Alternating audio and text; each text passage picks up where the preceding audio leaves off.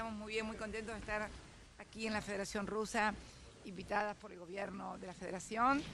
La presidenta llegó a Rusia el martes y volverá a reunirse con su par Vladimir Putin el jueves con el objetivo de profundizar las relaciones bilaterales y ampliar los acuerdos rubricados entre ambos países en ocasión de la visita del mandatario ruso a la Argentina en julio de 2014, entre los que se destacan la construcción de una central nuclear.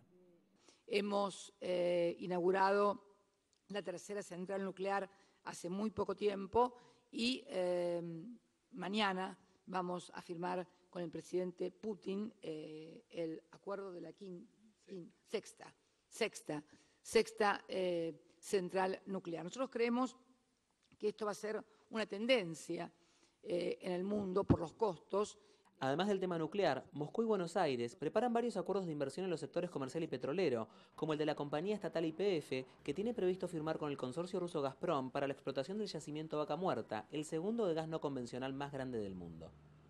En el Foro Empresarial Argentino-Ruso, la presidenta elogió la gestión kirchnerista que culminará en ocho meses y sostuvo que la Argentina es un país en el que vale la pena invertir porque tiene el mayor crecimiento económico de toda su historia. Pero más allá de los acuerdos económicos, la visita también tiene significado político, teniendo en cuenta el acercamiento que el gobierno argentino también formalizó en febrero con su viaje a China y los roces con Estados Unidos por diversos temas. La concepción de la presidenta Cristina es una idea de bloque. Ella cree que hay un bloque entre eh, China, Rusia, Argentina, Venezuela. Yo no coincido con eso. Yo creo que para nosotros es muy importante normalizar las relaciones con Estados Unidos y con Europa también.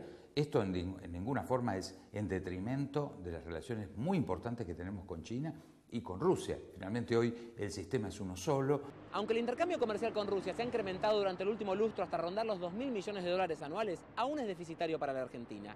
En ese sentido, el sector cárnico y lácteo es uno de los de mayor perspectiva debido al embargo ruso de los productos perecederos procedentes de la Unión Europea y de varios países occidentales. Para CNN, Iván Pérez Armenti, Buenos Aires.